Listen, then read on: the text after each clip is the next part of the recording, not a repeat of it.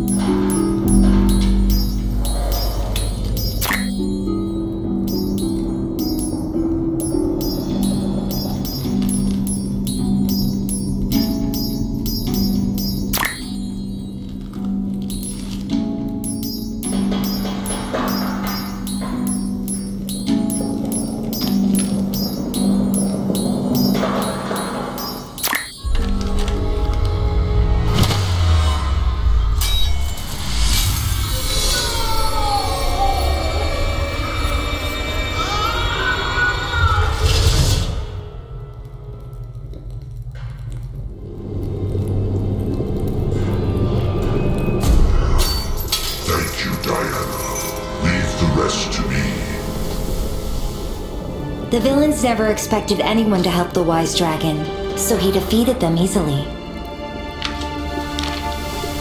I took advantage of the chaos and freed my father. Much time has passed since then, but our friendship with the dragon remains.